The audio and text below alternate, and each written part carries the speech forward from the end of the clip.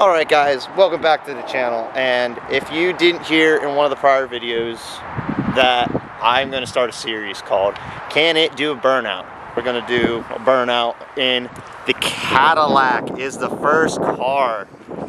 He ha needs to get some new tires so he graciously let me start with his car for the series. So Brad, you think it's going to be able to do a burnout? I think think the odds are pretty well in my favor. All right, just so we get a little bit of backside on this, it weighs right about how much? 3,500 pounds. 3,500 pounds is V6. It's actually a two-liter turbo, only a four-cylinder. Oh, Yeah. okay, so it's a four-cylinder turbo weighing about 3,500 pounds. Uh, rear-wheel drive, lots of torque, got a little bit of uh, got a little bit of a tune, and we'll show you under the hood. So you guys tell us, what do you think? Will it be able to do a burnout? And we will show you the engine bay real quick here.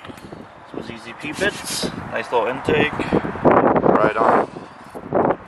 So without further ado, let's hit the streets and see if this car can do a burnout.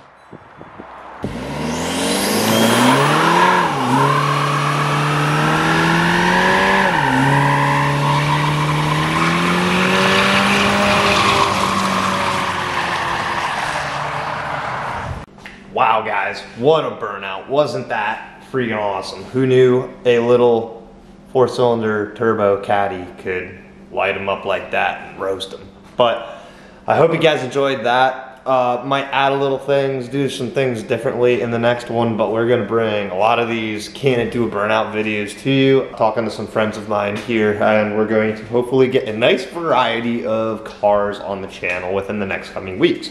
So, I hope you guys are enjoying everything so far in this video. I hope you guys are looking forward to more burnouts. If so, hit the thumbs up button. Don't forget to subscribe if you are not already, because there are going to be more videos like this coming up soon in the next coming weeks. So, enjoy the rest of your day, guys.